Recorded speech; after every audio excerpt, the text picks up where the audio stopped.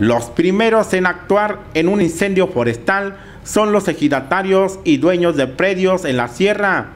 Enseguida, la responsabilidad recae en el municipio y por último, actúa personal de la CONAFOR, dio a conocer Jesús Jaso Villegas, responsable en la región media de la CONAFOR. Sí, con todo gusto. Mira, este, eh, la ley forestal y su reglamento eh, es clara en el sentido de que eh, tienen la obligación de acudir en primera instancia los propietarios o los poseedores de terrenos forestales, ejidatarios o pequeños propietarios, ¿sí? en alguna manera entre más rápido se atienda un evento, un incendio forestal, es muchísimo más, fácil controlarlo, a diferencia de que si ya está extendido, pues te va, a, necesitar muchísima más eh, eh, actividad, muchísimo más trabajo. Mira, eh, el, municipio, el municipio también tiene la obligación de, acudir en, el, en, las acciones de combate, de prevención y de combate de un incendio.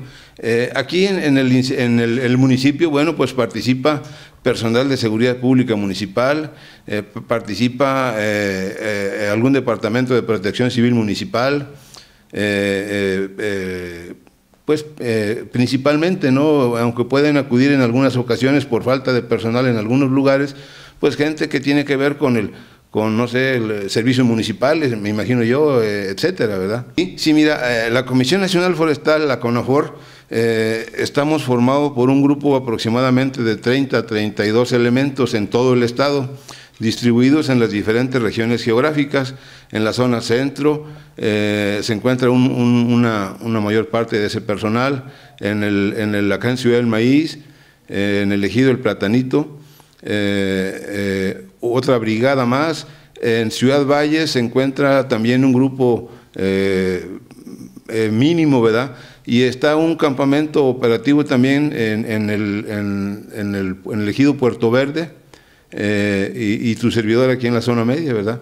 De alguna manera tratamos de coordinarnos eh, con las diferentes instancias eh, municipales y estatales, ¿sí? De modo de poder operar, de poder hacer un grupo operativo un poquito más amplio, debido a que en muchas ocasiones, como, como todos sabemos, pues un evento grande implican superficies, un terreno amplio, en donde se requerirán el esfuerzo conjunto eh, de las diferentes instancias y de los propios poseedores del recurso forestal.